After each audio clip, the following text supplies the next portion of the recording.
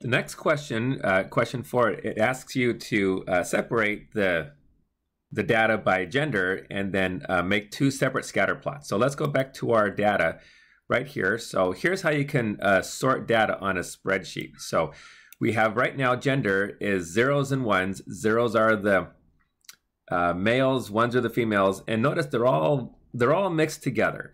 Um, it would be nice to be able to separate it. So here's what you do: is you select everything. Just use your mouse, select select all the data. There we go. Okay, and then you go to the spreadsheet. You go to Data, click Data, and then Sort right here.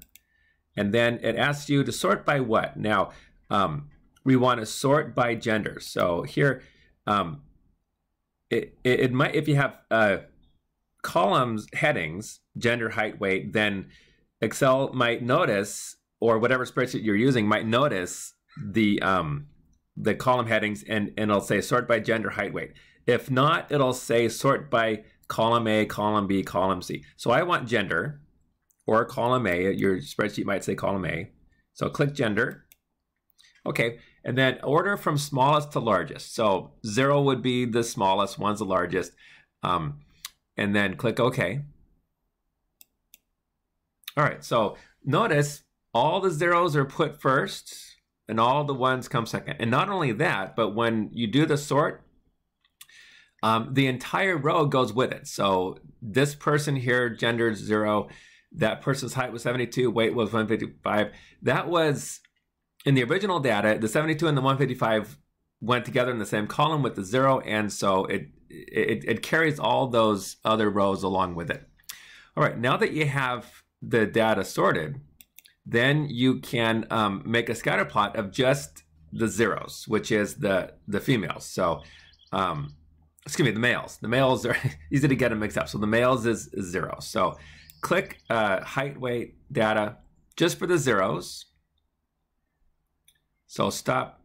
Okay, row, row 58 is my last row with zeros for the gender. And then you click insert and uh, scatter plot and scatter. Okay, so here, here it is. This is for the males.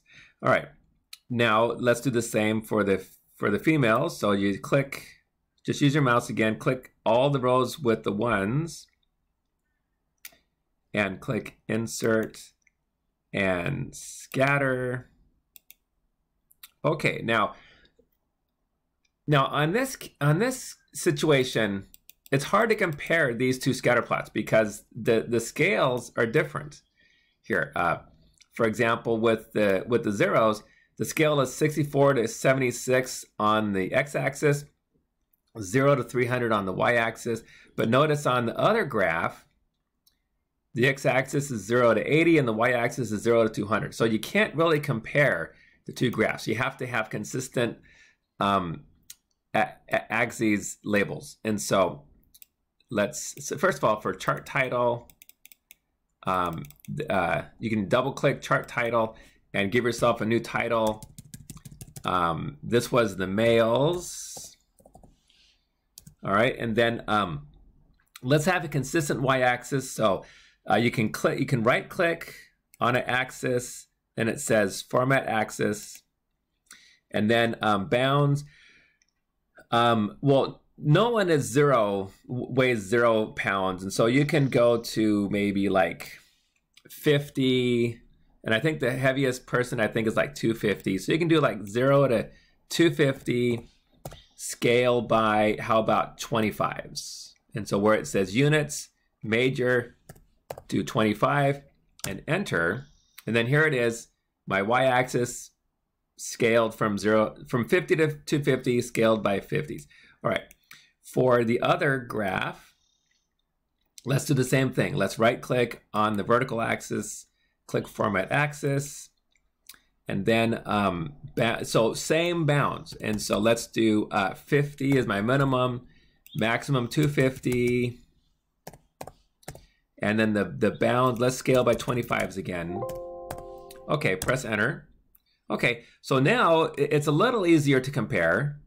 Now that both axes, at least the vertical axes are the same, but the horizontal axes are, are still different. So let's let's go back. Oh, and also let's uh, let's label this females. Just double click the chart title. All right, uh, now um, back to the males. Let let's oops, hold on here. Kind of hard to get these separated here. Okay, here we go. So the horizontal axis. So the males right now is 64 to 76. That's the heights. The females is 0 to 80 for some strange reason. So let's just scale both of these. How about 50 to 80? All right, so let, let's start with, uh, with the males. Just right click on the x-axis, format axis.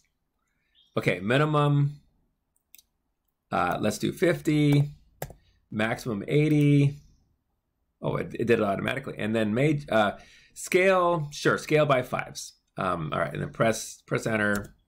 Okay, so that's my horizontal. Now for my vertical, excuse me, not now for my horizontal on the females, uh, right click, click format axis, and then we'll do 50 to 80, scale by fives. All right. Okay, so I'm done with the formatting. So now I can take a look at these side by side with the uh, the axes labels are all the same. So now I, I can make a more reasonable comparison.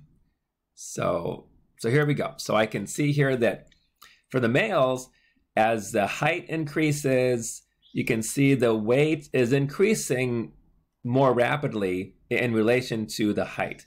Uh, whereas for the females, yes, as the height increases, weight in general in, increases, but not it's not quite as uh, as a rapid increase uh, in, in relation to the to the heights. All right, that's it. Thanks for watching.